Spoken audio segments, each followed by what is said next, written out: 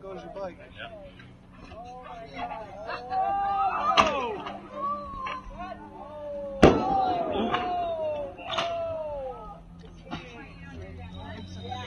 Yeah, I'm glad he stopped too.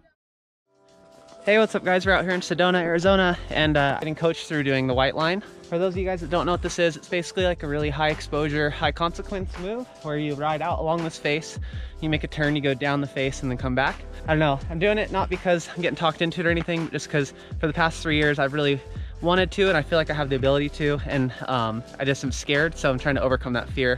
And uh, I think that's what Victor's doing too. Yeah. Um, so basically this white line is what we end up riding on. And then you can see where Simon is out there. So you go out to the edge and then where those trees are, you end up turning, coming down and then riding back out this way.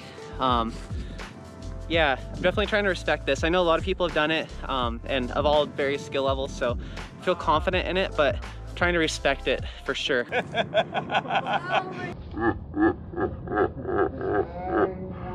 Don't fall. uh, stay high. Uh, uh, I'll show you exactly why you. Jesus Christ. I'm sorry, cheese and rice.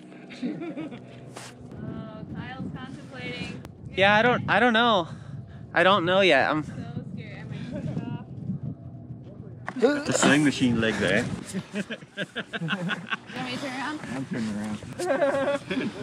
This is where most people run into issues, right here. Yeah. The fuck, it gets in the head, and they just, uh, it's, it's no big deal. so this is where you're supposed to kind of go down, basically kind of where that rock is and then, I'll. Just look at the skid marks. Though. yeah.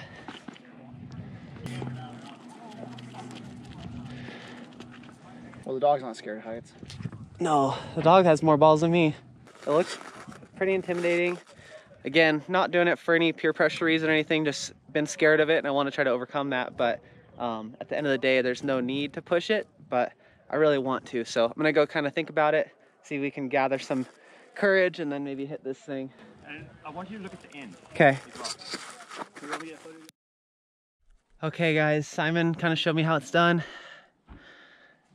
Show you guys my heart rate is, you know, one 116 and climbing, just standing here. Pretty nervous, but uh, I'm just gonna try to be calm and let's see if we can do this. All right guys, let's see how it goes.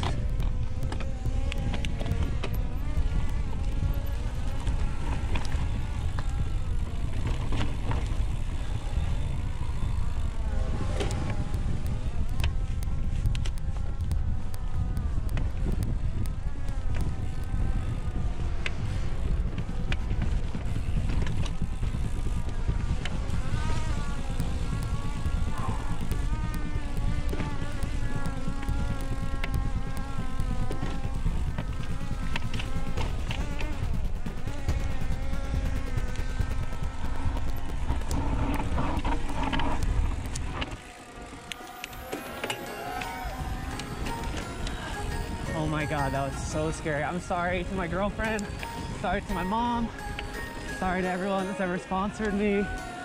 I love you guys. Woo! Uh, 120. Woo! All right, you guys, that was the white line. Thank you so Very much, cool, Simon. man. No, awesome. seriously, that was one of the scariest things I've ever done on a bike, and it's one of those things you have to overcome your fear. But please do not disrespect this line or any lines like this. Simon knows it's life or death out here, and uh, it sounds kind of dramatic, but it really, truly is. And thank you so much, Simon. I was so scared. It, abs- it absolutely is dangerous. People that kind of gloss over it, say it's easy. yeah, It's not. yeah. I've done a lot of crazy things in my life on a bike, and that was that was scary. So thank you guys so much. I hope you enjoyed watching my fear, and uh, can't wait to do some more stuff like this in the future. Cheers.